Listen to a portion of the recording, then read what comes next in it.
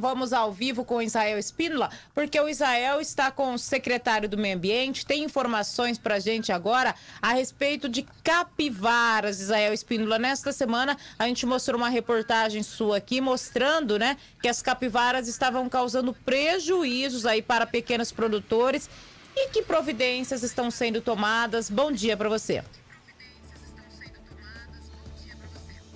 Muito bom dia, Ana. Bom dia a todos novamente. Pois é, Ana, sobre este problema que esses pequenos produtores da Asprofolhas estão enfrentando, né? Que a gente conversa agora com o secretário Celso Yamaguchi. Secretário, na semana a gente mostrou uma reportagem, inclusive, que essas capivaras estariam andando um quilômetro, saindo da primeira lagoa até a, a, algumas hortas que tem ali no alto da Boa Vista atrás de alimento e isso trazendo prejuízo aí para esses produtores rurais, esses pequenos produtores rurais. O que, que a Semeia tem feito para evitar que essas capivaras acabam aí invadindo esses, te esses terrenos? É, bom dia Israel, bom dia Ana Cristina, bom dia aos ouvintes, né? É, o prefeito Guerreiro, ele já é, nos determinou, né, já há uns 10, 15 dias atrás, que a gente pudesse estar tá aí tomando as providências necessárias em relação é, de tratar dessas capivaras. Né? Esse trabalho já é feito é, na Lagoa Maior, já tem sido feito, né?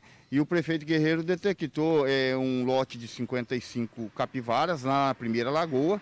E aí ele determinou que a gente pudesse já estar tá programando, colocando na programação para a gente estar tratando.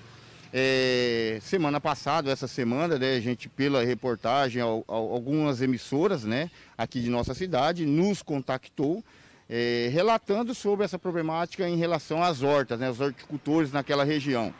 É, mas como o prefeito já tinha é, falado é, a esse respeito para nós, nós estávamos na programação, e aí o Célio, né, é, parabenizar aqui a, a parte da nossa da, de suporte aqui da secretaria, é, começou a providenciar para tratar dessas capivaras, né? É, como já conversei hoje, nessa manhã, com o Célio, é, a partir do momento que nós começamos a tratar né, delas, é, diminuiu essa incidência desse ataque nessas hortas. É claro que essa escassez de alimento, devido a essa seca, né, é, que ocorre também todos os anos, mas esse ano essa seca foi mais severa, é, acabando todo esse alimento dessas capivaras. É, então, dessa forma, elas vão procurar o verde realmente e aí, é, infelizmente, elas acabam causando prejuízos né, é, econômicos ali para alguns é, horticultores. É, a alternativa que nós estamos tendo é tentando tratar delas né, para que diminua é, esse impacto né, de, de prejuízo econômico a esses é, pequenos agricultores ali daquela região. Agora, Celso, é, essas capivaras são animais silvestres que pertencem aí a esse ecossistema que são as lagoas. A exemplo da Lagoa Maior, existe alguma possibilidade de remoção dessas capivaras da primeira lagoa, já que estamos falando de 55 animais? É, acredito que no momento, Israel, é, a alternativa nossa é tratar né, e acompanhar toda essa evolução tá, de, é, de, desse, dessa ocorrência aí de delas estar adentrando aí nessas, nessas hortas, né? É, porque a intenção inicial não é retirar ali, porque são, é um lote, um grupo pequeno, né, ainda. É, essa decisão na Lagoa Maior foi feito devido ali ter em torno de 150, 160 capivaras, né? Foi feito duas remoções já, dois manejos, na verdade, né? É um manejo do controle populacional. É, foram retiradas na primeira etapa 42 e depois 37, mas a população pode ficar tranquila que não vão ser retiradas todas, tá? Porque ali ela já faz parte do nosso cartão postal, ela já faz parte do ambiente ali da Lagoa Maior, da segunda e da primeira. E o fato interessante, Israel, é que ontem, né, o Célio, ao, ao ir na primeira lagoa para tratar dessas capivaras, desse lote, é, não encontraram elas lá. E aí ele veio aqui para a Lagoa do Meio, né, para a segunda lagoa. E lá estava esse lote lá onde ele tratou, né? Agora de manhã já agora já saiu agora nesse momento aqui da secretaria para poder fazer esse acompanhamento, né? Para a gente fazer todo esse trabalho, pedir para ir não em um dos horticultores para poder estar é, tá conversando e estar tá verificando aí se está ocorrendo ainda é, a incidência delas estar tá adentrando ainda nessas hortas. Agora, Celso, é importante também frisar novamente, né, eu bato nessa tecla, que não são os animais que estão invadindo o território do humano, e sim os humanos estão invadindo o território cada vez mais da área silvestre, com a urbanização.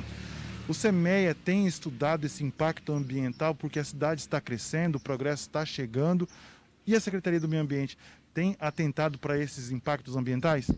É, é a nossa equipe técnica né, tem acompanhado, tem é, feito né, as contagens, acompanhado a evolução né, é, da, da, multiplicação desses indivíduos ali, por isso temos feito é, esses manejos. Né?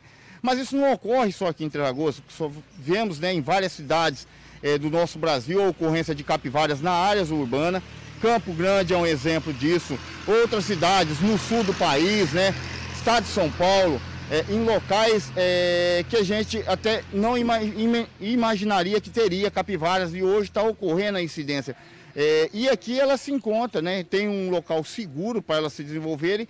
E hoje esse apelo de proteção, né, que é muito grande e a tendência é isso mesmo, então ela se encontra num ambiente seguro e é onde ela se reproduz é, rapidamente, muito facilmente. E aí os gestores públicos né, têm que estar atentos e acompanhando é, para poder estar fazendo esse manejo e com isso gerando menos impacto possível é, na vida urbana e também na vida desses animais que, como você disse, são silvestres. Mas a ocorrência de capivara, tá? Isso é normal. Isso eu, eu, posso recordar que na década de 80, onde era permitido, né, é plantio, por exemplo, nas várzeas, né, nos varjões, né, de arroz, por exemplo, isso era comum é, os pequenos produtores da nossa região. E a, naquela época, década de 80, em que tinha uma, é, uma grande quantidade de alimentos, já ocorria o ataque nessas é, lavouras produzidas né, pelas pessoas.